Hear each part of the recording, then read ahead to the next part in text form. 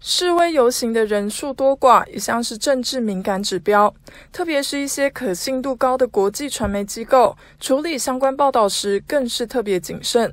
不过，法广观察到。多家国际媒体在报道六月九号的香港反送中游行时，都罕见的采用了主办单位民政所公布的一百零三万人，并将警方的估计数字放到次要的位置，其中包括彭博、CNN 以及法新社在内，更采用百万人来作为报道的标题。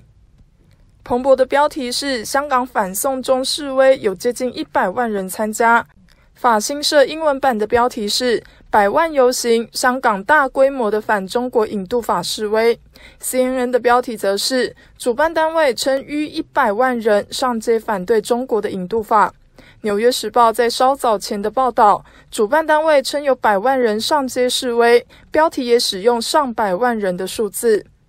法广分析，过去国际传媒在处理香港大规模群众事件时，都特别谨慎。像是《纽约时报》报道香港维多利亚公园的六四烛光悼念晚会时指出，主办单位估计有十八万人参加，警方则说最多只有三点七万人参加。不过，在报道九号的示威大游行时，一些国际传媒就算标题没有百万人的字眼，但也罕见的强调主办单位估计的数字。像是《华尔街日报》的报道，副题就用上了百万人的数字，并在第二段的报道指出，游行人数之多，主办单位估计超过一百万支谱。也就是每七个人之中就有一个香港人参加游行，反映了北京对香港管制的权威面对多年来的最大挑战。《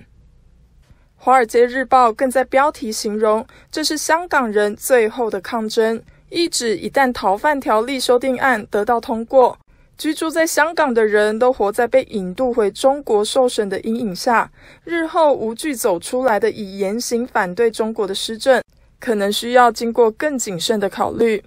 经济学人则在每日简讯中的报道第一段中指出，估计有一百万人走上香港街头抗议政府的引渡条例草案，而通篇报道并未提到警方的数字。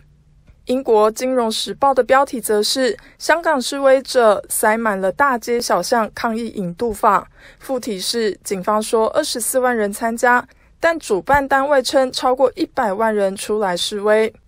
至于德国之声报道的第一段是，香港举行反对引渡中国条例的大规模游行当中，警方跟示威者发生冲突。主办单位表示超过一百万人参加示威。报道一直到第五段才提到警方估计的二十四万数字。